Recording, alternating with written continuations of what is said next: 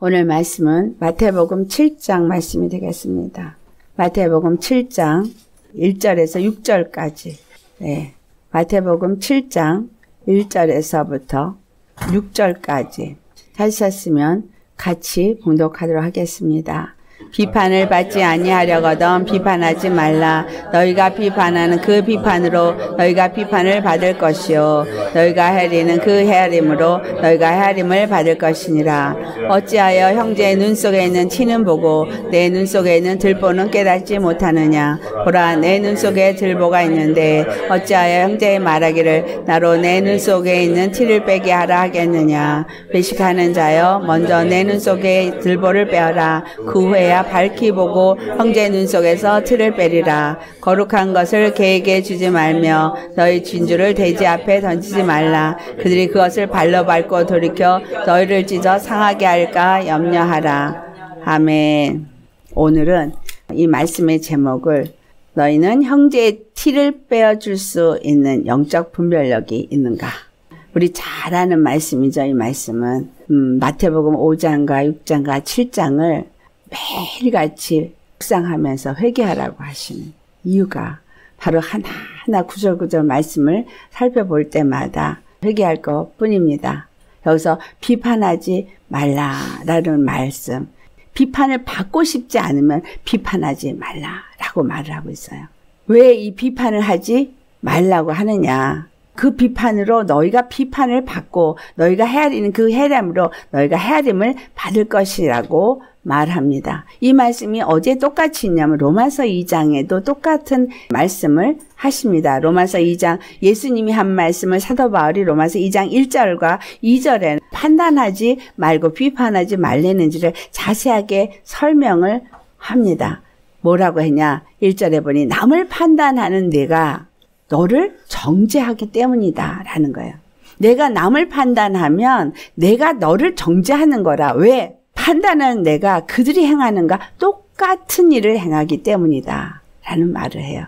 그런데 우리는 이걸 생각하지 못하고 마태복음 7장의 말씀을 잘 안다고 하면서 이 일을 수없이 행합니다. 왜 주님은 이 말씀을 우리에게 하고 이 말씀을 우리가 묵상해야 하느냐? 그것은 하나님은 이미 우리를 거룩하게 하셨기 때문인 거 예수 그리스도의 피로 우리를 거룩하게 하셨어요. 예수 그리스도의 피로 우리를 거룩하게 했기 때문에 이전에 있는 너가 지은 모든 죄를 기억하지도 말라고 말씀하신 거예요. 나는 기억하지 않겠다. 너의 허물을 다 도말해 버렸기 때문에 이제는 그걸 기억하지 않겠다고 말씀하신 거예요.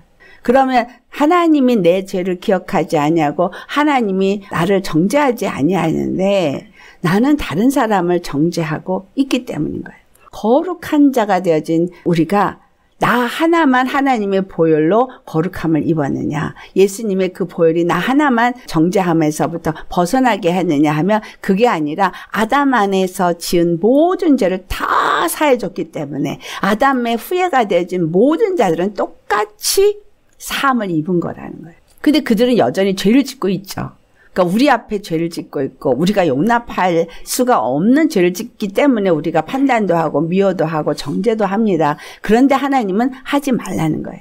하지 말라는 이유는 우리가 주님 앞에 죄사함을 받고 어, 거룩하다 함을 입은 이것이 우리가 어떤 노력이나 어떤 일을 했기 때문이 아니라 값없이 우리에게 은혜를 주시고 값없이 우리를 죄 없다 하셨기 때문인 거예요. 예수님의 보혈로 값없이 내가 죄 사함을 얻고 값없이 거룩하다 함을 얻었고 값없이 의롭다 함을 얻은 자가 된 거예요.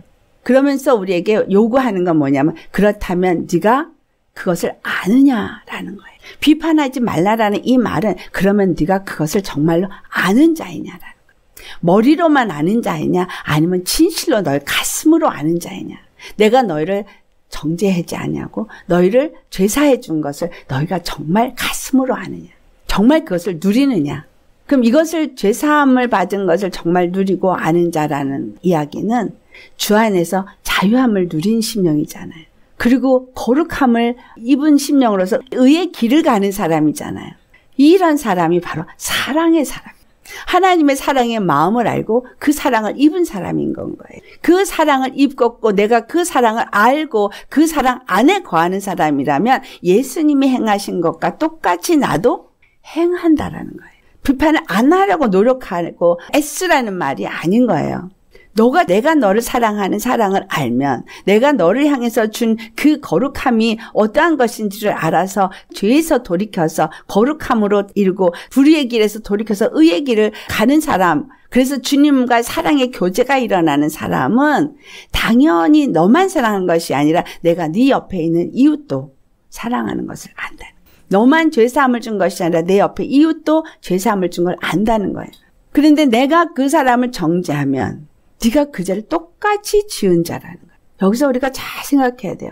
나는 죄사함을 받았는데 옆에 있는 사람이 죄를 짓고 있고 그런데 그 죄사함을 그도 받았다는 것을 기억하면 주님이 그것을 보게 할 때 그를 위해서 기도해주고 기다려주고 그리고 그가 내가 예수님을 만나서 죄사함을 받은 것처럼 그도 그것을 깨닫고 죄사함을 받는 날이 있을 것을 기대하고 있고 또 기다리고 기도해주는 사람이 주님과의 온전한 교제가 이루어진 사랑의 사람인 거예요. 그런데 그렇지 않고 정죄를 해버리면 바로 뭐가 다시 오는 거냐면 내가 죄사함 받은 것이 무효화가 되어진다.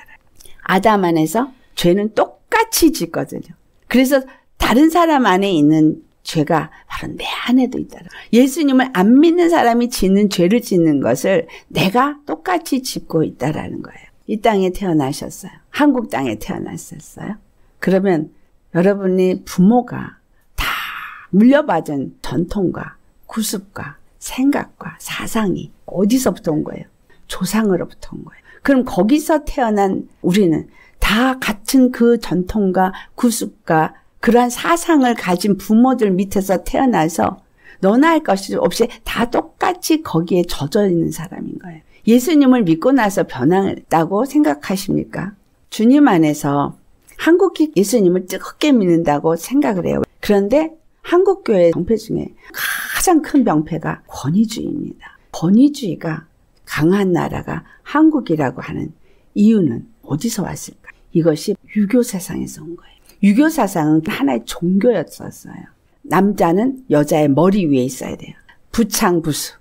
아내는 남, 남편을 머리로 섬기고 남편이 하는 대로 따라가야 되고 남편은 아내를 다스려야 되고 유교적인 사상이 대대로 내려오면서 한국 사람들은 그게 당연한 거예요. 그게 당연한 것이기 때문에 이렇게 내려오면서 결국은 교회 안에서도 그게 그대로 흘러내려오면서 교회에서 목사가 권위를 가지고 성도들을 다스리고 컨트롤할 때 이것이 아무렇지 않게 당연하게 돼야 되는 걸로 되어져 있죠. 그렇다면 교회 안에 우상이 있는 거예요, 없는 거예요? 있는 거예요. 예수님은 우리 위에 굴림하시는 분이 아니에요. 하나님이 우리에게 말하고 있는 이 권위를 오해하는 거예요. 제사장이 직분을 줬고 제사장이 직분을 갖고 축복권을 가졌기 때문에 너희들 위에 있고 군림한다. 그게 아닌 거죠. 예수님이 제사장이시죠. 대제사장이세요. 축복의 권한은 그분에게 있어요. 그런데 그분이 우리들에게 군림하라고 하시는가요? 아니면 사랑의 관계를 주셨는가요? 분명히 그분은 우리의 주권자예요. 주가 되시고 주권자가 되시고 우리의 왕이 되시지만 왕이 되고 주가 될 수 있는 건 그분만이 우리의 통치자가 될 수 있는 건 조물주이기 때문인 거예요. 그분은 천지를 지으신 분이고 모든 사람들은 다 지음을 받은 사람이기 때문에 그분은 모든 것을 아시는 분이고 전능하신 하나님인 거예요. 전능하신 하나님이고 모든 것을 아는 분이기 때문에 우리를 바른 길로 인도하고 가장 옳은 길로 인도할 수 있는 분이기 때문에 그분이 우리에게 가르쳐 주는 거예요. 보호받는 게 무엇이고 또 우리가 구원받을 수 있는 길이 무엇인지를 알기 때문에 그분이 그것을 가르치는 대로 너희가 그대로 따라오라고 가르치는 단 하나의 스승이고 선생이 되어지는 거예요. 그러나 우리 인간들은 서로가 소경이에요. 소경이 소경을 인도할 수 없어요. 보지 못해요. 알지 못해요. 하나님께서 알게 하신 것만 알아요. 뭔가 지식으로 얻고 배운 것으로 인해서 안다고 생각할 수 있어요. 하지만 그것이 세상에서 얻어진 거라 그래서 그것이 진리는 아니라는 거죠. 진리도 하나님께서 가르쳐 준 만큼만 진리를 우리가 깨우쳐 아는 거죠. 십자가의 복음에 대해서 여러분 얼마만큼 알고 있어요? 십자가의 복음을 귀로 듣고 알고 있고 십자가의 복음이 나를 구원했다는 거 아는데 그것이 얼마나 사랑이 깊은지 높은지 알아요? 잘 몰라요. 각자가 십자가의 사랑에 대해서 느끼는 게 다 다르다는 거예요. 하나님의 사랑에 대해서 느끼는 것이 다 다르다는 겁니다. 그래서 하나님은 아담의 범죄를 똑같이 인류가 다 죄 가운데 들어오고 죄 아래 갇히게 하신 거예요. 누구도 서로 판단하고 비판하지 못하게 하시기 위해서. 그리고 율법을 주셨는데 율법을 가지고 그들이 판단하고 정죄하는 걸 그걸 사용해 버리니까 율법을 준 이유를 오해한 것을 예수님이 오셔서 말씀하시고 사도 바울을 통해서 그것을 말씀하면서 율법은 사랑의 법이고 선한 법이고 그것은 진리로 인도하는 법이지 그것을 가지고 너희들이 판단하고 정죄하라고 준 법은 아니라는 거예요. 각자가 율법 앞에서 죄를 깨닫고 각자가 하나님 앞에 엎드리라는 거예요. 죄를 깨닫는 의미가 무엇이냐면 우리는 진리를 모르기 때문에 피조물이기 때문에 우리가 스스로 임의로 생명을 얻거나 우리가 스스로 임의로 거룩하거나 우리가 스스로 의로울 수 있는 길이 없기 때문에 오직 예수님 앞에만 나아가서 엎드려야 되고 그가 주신 생명을 받아야 되고 그가 주신 영을 받아야 되고 그의 피를 받아야 되기 때문에 죄를 각자가 느끼고 깨달아서 십자가 앞으로 나오라고 주신 게 율법인 거예요. 율법은 정죄하라고 준 법이 아니라 각자가 죄인인 걸 깨닫고 예수님 앞에 나와서 그 예수님의 사랑을 깨달아 알고 그 사랑을 입으라고 준 것이 율법인 겁니다. 그래서 예수님이 십자가 앞에 나와서 내가 구원을 받고 예수님의 의를 입고 죄사함을 받아서 죄가 없다 거룩하다라고 인침을 받았으면 그 사랑을 입은 자이기 때문에 사랑을 입은 것을 똑같이 다른 사람도 입었다는 것을 인식하고 그를 함께 사랑하는 자가 되어야 한다는 거예요. 비판하지 말래. 그러니까 비판하지 말아야지. 생각한다고 비판이 안 되는 게 아니라 근본적인 내 생각과 내 마음을 바꿔야 되는 건 거예요. 어디에서? 십자가에서 받은 은혜가 무엇인지를 아는 것에서 바꿔야 되는 거예요. 십자가의 은혜가 얼마나 귀하고 값진 것이고 이것이 아니군 결단코 나는 죄사함을 받을 수 있지도 못하고 거룩함을 받을 수도 없다라는 것을 정말 깊이 아는 사람이면 십자가에 내가 죽는 것밖엔 길이 없다는 걸 아는 사람이고 예수님의 그 사랑을 더 알아야 되는 것을 안다는 거예요. 그걸 알면 다른 사람 정죄하지 않는 거죠. 조금 다른 모양으로 어떤 사람은 장점과 단점이 조금씩 조금씩 달라서 다른 양상으로 나타나고 또는 자라면서 부모에게서 받은 훈련과 교육과 세상에서 받은 교육과 이런 것 때문에 조금씩 다른 양상으로 차이가 나타날 수는 있지만 근본 살고 있는 이 세상이 조상으로부터 내려온 전통과 구습과 사상이 다 똑같다는 거예요. 그럼 여러분이 갖고 있는 인식과 관점과 삶의 습관이 같아요. 그래서 그 안에서 그것을 얼마만큼 내가 느끼고 깨달아서 예수님 앞에 회개했느냐의 차이는 있겠지만 그러나 아직은 누구도 온전하게 된 자는 없다는 거죠. 누구도 없어요. 모든 사람이 다 예수님의 은혜가 필요하고 십자가의 보혈이 필요한 거예요. 그러니까 그것은 똑같은 거예요. 보여지는 죄의 양이 누구는 크게 느껴지고 누구는 작게 느껴질 수 있겠지만 하나님 앞에는 똑같은 거죠. 그래서 네가 다른 사람을 정죄하고 판단하고 그를 헤아린다면 그것은 똑같이 너를 정죄하고 너를 헤아리는 것이다. 라는 말을 하는 거예요. 모든 것을 심판하시는 하나님 앞에서 나도 똑같이 헤아림을 받고 싶으냐 아니면 무조건 용서함을 받고 싶으냐 네가 용서함을 받고 싶고 용서를 받았다면 다른 사람을 헤아리고 다른 사람을 정죄하고 이 짧은 세치의 혀로 잘난 척 하지 말라는 거죠. 아는 척 하지 말라는 거예요.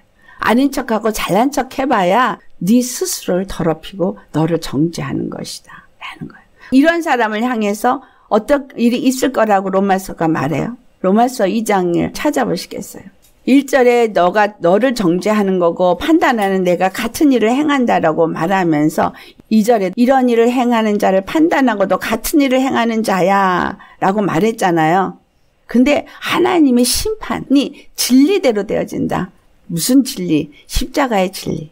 십자가에 죽고 부활하신 그 예수님은 십자가에서 공의를 나타냈거든요. 공의는 선악 간에 판단하는 건데 선악을 생명과 사망을 또 의와 불의를 다 판단하시는 것이 그분이 육체로 오셔서 모든 것을 감당하셨기 때문이라는 거예요. 4절, 5절을 같이 봉독해 보시겠습니다. 혹 내가 하나님의 인자하심이 너를 인도하여 회개하게 하심을 알지 못하여 그의 인자하심과 용납하심과 길이 참으심이 풍성함을 멸시하느냐. 다만 내 고집과 회개하지 아니한 마음을 따라 진로의 날 곧 하나님의 의로우신 심판이 나타나는 그날에 임할 진로를 내가 쌓는도다. 아멘. 아담의 죄, 그의 속성, 그것이 우리 부모의 죄와 속성이에요. 이게 곧 나에게 와서 나의 죄의 속성이에요. 그렇다면 다른 사람도 똑같은 거죠. 이와 같은 나를 하나님이 아담의 죄를 사시고 우리 부모들의 조상들의 죄도 사시고 또 나의 죄도 사시고 그리고 그 속성들도 완전히 다 제거시키시고 다른 속성으로 다른 사람으로 만들기 위해서 주신 것이 십자가라는 거예요. 이 십자가의 은혜와 용납하신가 참으심을 멸시하느냐. 하는 거예요. 내가 만약에 다른 사람을 향해서 정죄하는 것은 하나님이 그를 참으시고 용납하시고 기다리고 계시는 것을 내가 정죄하는 건 하나님의 자리에 앉아서 하나님의 용납하신가 참으심을 멸시하는 거라는 거예요. 그래서 심판을 받는다는 거예요. 내 한마디의 말 때문에 심판을 받는다는 거예요. 심판에서 벗어나기 위해서 예수님을 믿는 건데 예수님을 믿고 예수님 안에 있다고 하면서 이 짧은 혀로 하는 이 말 몇 마디에 하나님께로 진노가 임하게 됨을 기억하라는 겁니다. 생각으로 판단을 하고 헤아려도 마음으로 그렇게 해도 다 똑같이 정죄함을 받고 심판을 받는다는 거예요. 얼마나 많이 우리 그동안 죄를 졌을까요? 너무나 많이 죄를 졌습니다. 너무나 많이 비판했고 판단했고 정죄했고 그래서 하나님의 그 긍휼하심과 오래 참으심을 완전히 우리가 멸시하는 그러한 죄를 졌다라는 거예요. 믿지 않는 누가 잘못된 일을 했다 할지라도 정죄하지 말아야 되는 이유. 부모에 대해서 유교 사상이라는 권위주의로 자식들을 컨트롤했어요. 결혼을 하면서 남자들이 또 아내들에게 그렇게 해요. 그러면서 부모 말에 순종해야 된다고 내 말 들어! 이런 식으로 해서 강압적으로 했는데 교회에서도 똑같이 그래가지고 목사 말에 무조건 순종해! 그 목사의 말에 감히 거스려. 이렇게 해가지고. 이게 지금 하나하나 다 들어오는 거예요. 그러다 보니까 믿음 있는 사람들이 어떻게 해요? 장로님들이 군림하려 그러고, 권사님들이 군림하려 그러고. 근데 예수님 뭐라 했어요? 존귀하게 여기라. 존귀하게 여기는데 반말 찍찍하겠어요? 아니죠. 정말 하나님이 존귀하게 여기는 영혼이라고 생각해서 내가 그를 존귀하게 여긴다면 그를 대하는 내 생각, 마음까지 입술의 언어까지 분명히 다릅니다. 우리 이거 바뀌셔야 돼요. 오랫동안 너무 습관에 절어왔어요. 그렇게 절어왔기 때문에 그게 습관적으로 나서 이 어휘도 얼마나 강한지 몰라요. 어투도 강해요. 그런데다 요즘은 상처들이 많아가지고 더 날카로워지고 거칠어지고 저는 미국에 있다가 가끔씩 한국에 오니까 더 느껴요, 그거를. 여기 기나 사시는 분들은 잘 모르실 거예요. 억양과 어투가 다르다는 거예요. 미국 사람들은 지나갈 때도 excuse me. 실례합니다. 길을 지나갈 때도 조금만 비켜주세요. excuse me. 조금만 발을 밟아도 excuse me. 미안합니다. 실례합니다. 그리고 thank you. 감사합니다. 이게 입에 배었어요. 사람들을 배려하는 게 늘 있고 배려하는 거에 대해서 감사하는 마음이 있고 그리고 조금만 다른 사람한테 불편을 줘도 신뢰한다고 미안하다고. 거다 보니까 사람들한테 이렇게 말을 할 때도 공손하게 나가게 되죠 당연히. 적어도 우리 예수님 믿는 사람은 달라야 된다는 왜 달라야 돼요? 예수님이 우리를 대할 때 그렇게 대하셨기 때문에. 베드로가 예수님을 배신할 거를 알면서도 예수님은 마귀가 너를 밀가부르지 까부르기 때문에 내가 너를 시험에서 떨어지지 않게 하려고 기도한다. 자기를 부인하고 버릴 거를 알면서도 그렇게 하신 예수님의 사랑이 오늘 우리에게 부어졌다는 사실이에요. 나에게 불쾌하게 하고, 나에게 불량하게 행하고, 나에게 어떠한 일을 행한다 할지라도 그를 향해서 마음에서 사랑이 흘러나가고 있느냐. 쉽지 않아요. 사랑 흘러나가기 어렵습니다. 나한테 불쾌하게 하고 나에게 말을 함부로 하는데 사랑이 흘러나가기가 쉬워요? 아니죠. 그런데 그렇게 돼야 된다라는 거예요. 우리가 그 사랑을 입었기 때문에. 그러니까 사랑의 사람이 되어져야 하는 거예요. 사랑의 사람이 되어야 비판하지 않는 자가 되어지지 사랑의 사람이 되지 않으면 비판은 순간에 나오는 거예요. 겉으로 입으로 말 안 할 뿐이지 이 안에서는 올라오죠. 그럼 벌써 뭘 가르쳐 준 거예요? 네가 그만큼 교만하다. 네가 그만큼 사랑이 없다는 걸 가르쳐 주는 거예요. 비판 안 하려고 노력하고 입을 다물려고 노력하는 거가 옳은 게 아니라 예수님의 사랑이 얼마나 큰지를 더 아는 거, 내가 입은 사랑이 얼마나 큰지를 아는 거. 그래서 끊임없이 올라오는 죄를 회개하고 십자가에 못 박고 예수님의 은혜와 그 사랑을 알아서 그 은혜와 사랑이 내게서 흘러나갈 수 있게끔 그렇게 주님 앞에 나아가는 자가 되는 거. 이게 중요하다는 거예요. 근데 오늘 본문을 보니까 네 눈에 있는 들보를 빼라 그랬죠. 티와 들보의 의미가 뭐겠어요? 티는 아주 작은 먼지 같은 거예요. 들보는 뭐냐? 기둥과 기둥을 엮는 들보. 왜 들보라는 단어를 쓰셨을까요? 네 집이 뭐로 버튼목이 돼 있니? 그 말이에요. 들보는 버튼목이죠. 뭐로 버튼목이 돼 있느냐? 교만의 버튼목이냐? 죄의 약의 버튼목으로 지어져 있느냐? 죄의 속성을 가지고 교만과 사랑 없는 마음과 이런 것들을 가지고 보니까 남의 티끌을 보고 그 티끌만 빼라 그러는데 안에 죄의 속성으로 집이 지어져 있다라는 거예요. 이것부터 회개해야 되는 거예요. 사랑의 사람이 되고 사랑의 마음이 되어서 예수 그리스도의 몸된 교회, 거룩한 성전이 되어진 자가 되라는 거예요. 거룩한 자가 되어졌으면 거룩한 말을 하고 거룩한 행동을 해야죠. 사랑의 사람이 되었으면 사랑의 말을 하고 사랑의 행동을 해야죠. 그들은 용서를 받았지만 아직은 연약한 믿음인지라 죄를 짓는 거예요. 조금씩 조금씩 어떤 잘못을 저지르는 거예요. 조금 눈에 거슬릴 만한 것들이 있는 거예요. 그러나 그것을 깨달아 알면 그들도 회개할 거예요. 깨달아 알지 못하기 때문에 그런 것들이 나타나는 거죠. 아직은 알지 못해서 그 부분을 회개치 못했기 때문에 또 나타나고 또 나타나고 또 나타날 수 있는 거예요. 근데 하나님은 용납하시고 참으신다 그랬죠. 언제까지? 깨달아 알 때까지. 속건제가 깨달아 알 때까지 기다려주는 거예요. 깨달아 알아지면 그때 재물을 갖고 와서 죄사함을 받기 위해서 제사장에게 내어놓는 거거든요. 하나님은 그래서 단번에 회개시키게 하지 않아요. 다 회개를 한 번에 다 하게 하지 않아요. 차츰 차츰 회개를 하죠. 육적인 죄부터 회개를 하기 시작해서 그 다음에 혼적인 죄, 나아가서 영적인 죄까지 회개는 한없이 끝없이 이어집니다. 믿음이 자란 만큼 회개 깊이가 달라지고 회개의 애통함이 달라져요. 인식에서 회개를 하기 시작하면 생각 속에서 주님 잘못했습니다요. 그런데 이것이 영으로 깊어져서 회개가 되어지면 심령을 창자가 뒤틀어 나오는 것 같은 애통의 회개가 나옵니다. 제가 회개 경험을 해보니까 다범죄적인 그런 것들은 입으로만 하는 회개가 되어지지 애통하는 회개가 안 돼요. 그런데 하나님의 사랑과 그 은혜를 깊이 알아주고 나면 너무나 우리가 믿지 않는 거를 다 발견하게 되어져. 그런 것들에 대해서는 애통하는 기도가 나오고요. 예수님의 십자가의 사랑을 알지 못하고 사랑하지 않은 것에 대해서는 애통하는 회개가 나와요. 그러면 눈물 콧물 오열을 하게 되는데 그 오열 중에 비판한 거에 대한 오열도 나오더라고요. 그냥 쉬게 했는데 보니까 이게 얼만큼 교만하고 하나님 앞에 폐역한 죄인지. 믿지 않는 자가 눈에 거슬리게 하는 거 보면 금방 찌푸리면서 이 안에서 판단 정제가 오는데 주님은 저를 위해서도 내가 피 흘렸다. 그게 교만하기 때문에 올라온 거예요. 내 안에 있는 들보의 속성이 그렇게 한 거예요. 주님이 오늘 들보의 속성을 뽑는 것이 더 중요하다는 얘기를 하시는 거예요. 그럼 티끌을 빼주지 말라는 얘기예요? 아니에요. 티끌을 빼주라는 거는 우리가 해야 될 일인 것 중에 하나인데 내가 정죄하고 티끌을 빼줄 수 있나요? 판단한다고 빼줄 수 있나요? 못 빼줘요. 티끌을 발견을 하게 해주세요. 그래서 이거를 분별하게는 해요. 분별과 판단의 차이는 사랑이에요. 사랑은 분별은 하되 정지하거나 판단하진 않아요.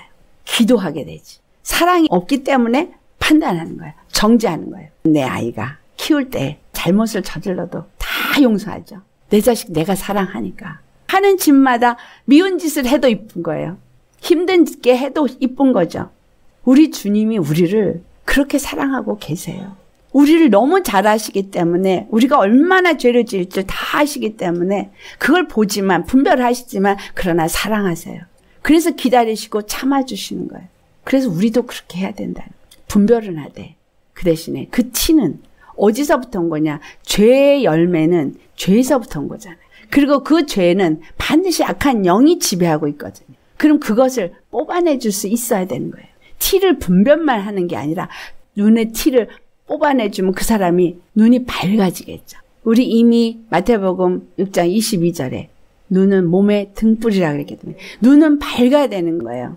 근데 그 사람이 눈이 어두워서 그러니까 소경이 아니라 지금 눈이 어두워진 거잖아요. 예수님을 만나긴 만났는데 죄의 속성으로 인해서 어떤 것들을 일으키는 것들을 볼 때 그걸 뽑아내 주는 일이 바로 기도라는 거예요. 영적으로 그 사람이 왜 저와 같은 일을 하는가, 왜 저와 같은 죄의 열매를 맺는가, 내가 분별을 하되 정확하게 분별을 해야 돼요. 영의 눈이 떠져야지만 분별할 수 있겠죠. 저게 어디서부터 오는 건지를 알 수 있어야 되잖아요. 그 안에 역사는 영이 뭔지를 분별할 수 있어야 돼요. 믿는 자들에게 따르는 표적이 뭐라 그러세요? 뱀을 집으면 뽑아내 줘야 되는 거야. 이렇게 사람한테 대고 예수를 명하느니 이간의 영아 떠나가라. 꼭 이렇게 소리 안 질러도요. 속으로 이간의 영을 내가 묶고 결박해서 내쳐도 돼요. 저 사람 안에 지금 이간의 영이 있어서 속살거리고 우리 사이를 분리시키는구나 라는 거를 딱 분별을 하면 그 순간에 이간의 영을 묶어서 결박하고 내쳐야 되는 거예요. 뭔가 짜증의 영이 지금 누군가를 통해서 역사하고 있어. 그거 바로 그 자리에서 결박해서 묶어서 내쳐야죠.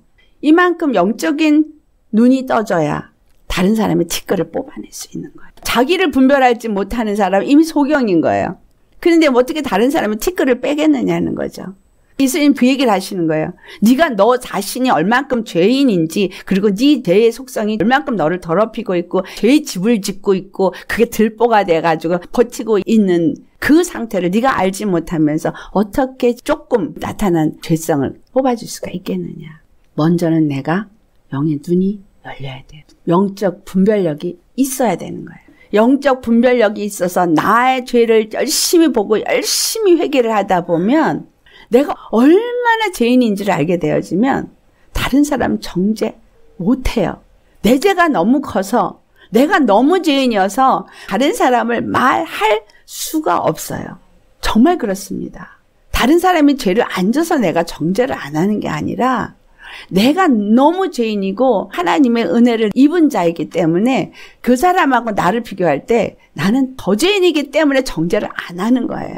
못 하는 거예요. 안 하려고 해서 안 하는 게 아니라 못 하는 거예요. 내가 너무 죄인이기 때문에 못 하는 거예요. 여러분 그렇게 되셔야 합니다. 나는 의인인 것 같으십니까? 아니에요. 얼마나 죄인인지 파고 파면은 사도 바울이 오죽하면 내가 죄인 중에 괴순이라 사도 바울도 죄인 중에 괴수라 그랬는데 그는 날 때부터 유대인으로 태어나고 나서 유대인의 전통에서 자랐고 바리새인의 전통 속에서 배웠고 그 안에서 엄하게 교육을 받아서 육으로는 흠잡을 데가 없을 그러한 의롭다 할 만한 사람이었던 거잖아요. 근데 그가 자기 자신을 죄인 중에 괴수라고 말해. 우린 태어날 때부터 죄인이고 자라면서 죄만 짓고 얼마나 죄악이 덩어리겠어요. 근데 뭐가 잘나서 다른 사람을 판단하고 정죄할 수가 있겠느냐는 거예요. 말로는 예수님의 사랑을 안다고 하는 거고 예수님 사랑 모르는 거예요. 예수님의 사랑을 아는 사람이면 영의 눈이 떠지겠죠. 영의 눈에 떠지면 영적으로 모든 걸 분별하게 되니까 그 안에서 역사하고 있는 영을 보게 되지 그 사람을 보게 되지 않고 그 악한 영들을 다 뽑아내줄 수가 있겠죠. 말 꼭 하지 않고 조용히 알아서 뽑아내 주는 거예요. 그럼 누구 옆에 있으면 내가 마음이 편안해, 기쁘고 좋아. 왜일까요? 내게 있는 빛이 어둠을 쫓아내 주기 때문에. 우리는 어디를 가든지 다른 사람의 어둠을 내쫓아 줄 수 있는 사람. 그 영들을 다 결박해서 내쫓아서 그 사람이 눈이 밝아질 수 있고 볼 수 있고 내가 이거 잘못했네. 아 이거 회개해야 되겠네. 이렇게 알아질 수 있으면 그 사람 회개하고 나면 그 다음에 그 짓 안 할 거 아니겠어요. 그러니까 형제의 티끌을 빼줄 수 있는 영적 분별력을 가졌느냐. 형제의 티끌을 빼줄 수 있는 영적 분별력은 반드시 가져야 돼요. 여기서는 너는 형제들의 잘못을 책망하지 말아라. 이런 의미로 해석을 주로 해서 설교를 들으셨죠. 그게 아니고 제대로 형제의 티끌을 빼줄 수 있는 그런 사람이 되라는 거예요. 하나님이 원하는 건 거룩이에요. 하나님이 원하는 것은 화평이에요. 화목이에요. 내 안에 내 들보를 빼야 다른 사람의 티끌도 빼주고 그래야지 같이 화평해질 거 아니겠어요? 내 들보가 해치고 이간시키고 분란을 일으키고 미움을 일으키고 당을 만들고 다툼을 일으키고 교회 안에 이런 것 만들고 있잖아요. 내가 직분을 가지면 위에 서서 군림해가지고 컨트롤하면서 사람들에게 상처 주고 정죄하고 이건 이래야 돼 저건 저래야 돼. 내가 알아도요 입 다무시는 게 좋아요. 내 생각 내 기준을 가지고 가서 딴 사람한테 아 이건 그렇게 하면 안 돼 이건 이렇게 해야 돼. 나는 이렇게 해보니까 이런 좋은 점이 있던데요. 똑같아요 달라요. 그러면 그 사람이 어 그래요 그러면 나도 한번 그렇게 해봐야지. 그리고 받아들이면 둘이 문제가 없지만 나는 지금 이렇게 하는 게 좋겠다 그러고 이걸 하고 있는데 옆에서 아 그거 그렇게 하면 안 돼요. 이렇게 해야 돼요. 그러면 어떻게 해요? 이 사람 마음 상해요, 안 상해요? 마음 상해요. 너는 네 집 가서 그렇게 해. 나는 내 집에서는 이렇게 할게. 이게 다 뭐예요? 내가 옳다라고 생각하기 때문인 거예요. 어떤 충고나 이런 걸 줄 때 쓰죠. 그걸 잘 달게 먹을 수 있는 사람 참 없어요. 우리는 서로가 이런 사람이 되시기를 축원합니다. 주님이 원하는 건 당연히 다른 사람의 티끌 빼주는 거예요. 근데 빼줄 수 있는 사람이 먼저 되라는 거예요. 먼저 내 자신을 알고 내가 거룩한 자로 하나님의 의로운 자로 먼저 되어야 다른 사람의 뭘 하지 너도 안 됐으면서 뭘 누구를 하려고 하느냐라는 거죠. 그래서 소경이 소경을 인도한다는 말을 하는 거예요. 이런 일을 목회자들이 하고 있어요. 바리새인이 무거운 거 한 가락 하나로 들기도 싫으면서 다른 사람한테 무거운 짐을 지운다 그러잖아요. 그런 거예요. 이렇게 말을 전하려면 저부터 먼저 더 그렇게 돼야 되죠. 내가 그렇게 해야 다른 사람에게 그걸 말할 수가 있는 거잖아요. 나를 열심히 봐야 되는 거예요. 비판하면 그 비판함으로 네가 비판을 받고 헤아리면 그 헤아림으로 네가 헤아림을 받는다는 거. 똑같은 짓을 너도 짓기 때문에 너도 똑같이 정죄를 받고 그것이 결국은 하나님을 멸시하는 거를. 나 자신을 보고 열심히 나를 회개하다 보면 다른 사람 볼때 저 사람도 나하고 똑같구나. 내가 이렇게 십수년을 모르고 있다가 이제 깨달아서 이제 회개했으니 저 사람도 기다려줘야지. 기도해줘야지. 왜? 내가 저제 똑같이 졌거든. 물론 먼저 가는 사람이기 때문에 나중오는 사람의 그 발자취를 보면 똑같아요. 여러분 애 키우면서 느끼지 않아요? 어쩜 그렇게 똑같은지 똑같아요. 그러니까 똑같은 짓을 똑같이 해요. 그러니까 기도해주면 돼. 똑같은 짓을 하는데 이제는 조금 간다고 해서 정죄하면 안 된다는 거예요. 그 다음에 우리가 마지막으로 봉독한 6절. 6절 말씀을 보니까 이렇게 영적 분별력이 없으면 이런 일이 일어난다는 거예요. 남을 비판하고 판단하는 그거에 열심을 내다가 결국은 어리석은 자가 되어진다라는 걸 말해주는 거예요. 먼저는 내 영의 눈이 떠지고 그 다음에 나 자신을 제대로 알아서 비판하는 자가 되지 말고 눈에 티를 빼주는 사랑의 사람이 되어져야 되죠. 그렇게 해서 영적인 눈이 떠지면 거룩한 것을 계획해 주지 않는다는 거예요. 또 진주를 돼지 앞에 던지지 않는다는 거예요. 개와 돼지가 나와요. 베드로 후서 2장 22절. 같이 봉독합니다. 참된 속담에 이르기를 개가 그 토하였던 것에 돌아가고 돼지가 씻었다가 더러운 구덩이에 도로 누웠다 하는 말이 그들에게 응하였도다. 아멘. 그 앞에 21절을 보면 의의 도를 안 후에 받은 거룩한 명령을 저버리는 것보다 알지 못하는 것이 도리어 그들에게 나으니라. 개는 거룩한 명령을 저버리는 자야. 개나 돼지는.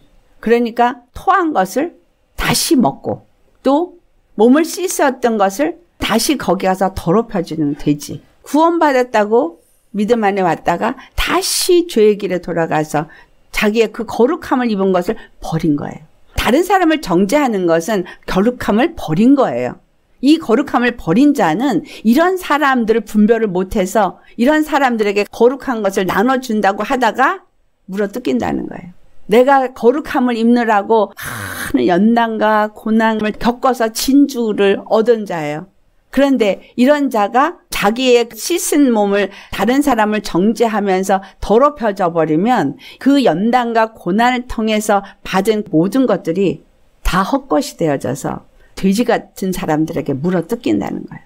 진두도 짓밟히고 15년 동안 고난 통해서 겨우 거룩함을 입고 주님 안에서 은혜도 있고 무엇을 해야 되는지를 알았다가 거룩한 곳에서 돌아간 자들이 있어요.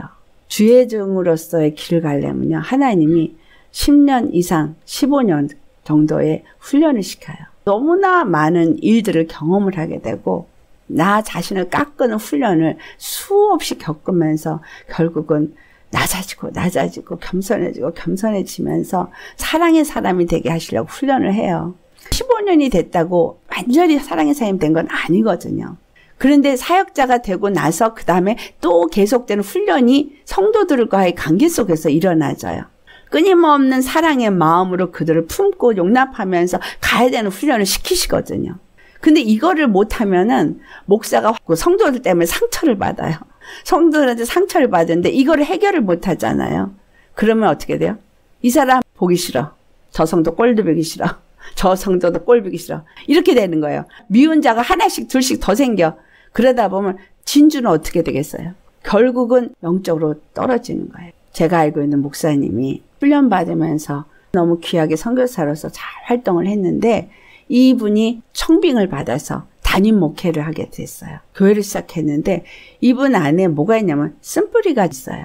그러다 보니까 성도들이 이 사람의 리더십에 반격을 가해서 문제들이 일어났어요. 그 교회의 리더 그룹 중에 있는 사람들하고 마찰이 일어나기 시작한 거예요. 목사님이 이렇게 나가려고 하는데 여기서 반기를 들으면서 부딪히기 시작했는데 그러다 보니까 영적으로 이분이 그런 거에 해결을 못 받으니까 성도들이 다 느낄 만큼 말씀 자체가 영적으로 생명력을 잃어가는 거예요. 그러다 보니까 성도들이 하나씩 둘씩 점점 떠나가는 거예요. 그분이 그 목회의 길을 갈 때까지 얼마나 많은 훈련을 했는데 그 목회자의 길을 가면서 생명력을 소멸해버린 자가 되어버린 은혜를 옛날에 많이 받았다. 훈련을 많이 받아서 얼마큼 성숙된 영성을 가졌던 그것이 중요한 것이 아니라 오늘 내가 예수님과의 사랑의 관계가 되어 있느냐 아니냐 이게 중요한 거예요. 오늘 내가 예수님과의 사랑의 교제가 이루어지는 일에 방해가 되어지는 어떤 것도 다 제거시킬 수 있으셔야 돼요. 개 돼지 얘기가 뭐냐면 타락되는 자를 말하는 거거든요. 세상의 것들이 와서 나를 물어뜯어서 죄의 길로 끌어간다는 거예요. 더럽혀지게 만든다는 거예요. 어제 내가 거룩했다고 오늘도 거룩하고 오늘 내가 거룩했다고 내일도 거룩하다는 보장은 없다는 거예요. 매일 나 자신을 보고 영적 분별력을 가지고 회개함으로써 어떤 것이 와도 거룩함을 잃어버리지 않는 주님과의 관계가 늘 있어야 한다는 거예요. 사랑의 관계가 늘 있어야 돼요. 누가 나한테 어떻게도 예수님은 날 사랑하면 끝. 내가 예수님 사랑하고 예수님 날 사랑해서 이 사랑의 관계가 뜨거우면 어떤 것이 와도 이길 수 있어요. 남 판단하고 비판할 거 없어요. 나 열심히 보고 나 회개하고 옆에 있는 형제 티끌을 뽑아내줄 때 너 저를 위해서 기도해줘라. 그럼 기도해주면 되는 거예요. 대신 중보 회개하고 대신 중보 기도하면서 그 영혼의 티끌을 빼주면 나중에요. 이 영혼이 알아요. 기도해준 거. 그래가지고 좋아해요. 뭔지 구체적으로 몰라도 그냥 저 사람이 좋아. 자기를 이렇게 건져준 사람이기 때문에 영으로 그게 돼서 서로가 친해지게 되는 거예요. 입으로 하지 말고 사랑으로 서로 기도해주면서 같이 이렇게 나아가면 얼마나 아름다운 교회가 되겠어요. 얼마나 아름다운 하나님의 나라가 세워지겠어요. 그거 못하면 개나 돼지가 죄에 다시 끌려가는 것처럼 마귀에게 끌려가서 넘어진다는 거예요. 열심히 자가의 사랑을 알아가고 내게 비춰서 자신을 돌아보면서 주님으로 만들어지시기를. 그러면 주님이 나에게 말씀하는 대로 열심히 회개거리가 자꾸 알아지니까 열심히 회개하다 보면 다른 사람 것도 대신 회개가 되는 거예요. 나 안에 있는 컨트롤의 영을 내 안에 있는 분노의 영을 열심히 회개하다 보면 옆에 있는 분노하는 사람의 영까지 물리치게 되어져요. 그래서 관계 속에서 분노의 영의 역사가 없어져요. 이게 영적 진리예요. 미움이 내 안에 있다? 그럼 그 미움을 열심히 없애세요. 그러면 다른 사람하고 미움의 관계 절대 안 나요. 미움의 영이 내 안에 자리 잡을 수가 없기 때문에 미움의 영이 역사를 못 해요. 내 안에 질투가 일어나면 질투 영을 열심히 쫓으세요. 그러면 다른 사람하고 질투 없어요. 우리 시기 질투 조금만 하면 있잖아요. 섭섭해요? 너무 심하죠? 섭섭해? 그러면 내 안에서 섭섭한 걸 열심히 쫓아내면 사람과의 관계 속에 섭섭이 안 일어나요. 다 어디가 문제? 내가 문제예요. 내 안에 있는 게 저 사람 안에 있거든. 내 안에 있는 거 회개해서 없애버리면 저 사람 안에 있는 것도 없어진다는 걸 아시기를 바랍니다. 그러니까 비판할 필요 없죠? 판단할 필요 없는 거예요. 다른 사람의 어떤 게 보이면 저거 나한테 있는 거를 지금 보고 회개하라 그러시나 보다. 그렇게 생각하시면 돼요. 이 말씀을 잘 이해가 되셔서 주님의 사랑만이 나타나는 우리 되시기를. 그래서 하나로 자꾸 자꾸 함께 세워져서 주님의 영광이 나타나기를 예수님 축원합니다. 집이 전 세계예요. 전 세계에 이 사랑이 퍼져야 돼요. 이 사랑이 빛이 퍼져야 돼요. 내가 되면 된다. 주님은 그걸 위해서 우리 가운데 오셨고 그걸 이루길 원하십니다. 주님 앞에 우리 기도로 자신을 내어드리기를 그리고 간구하시기를 바랍니다.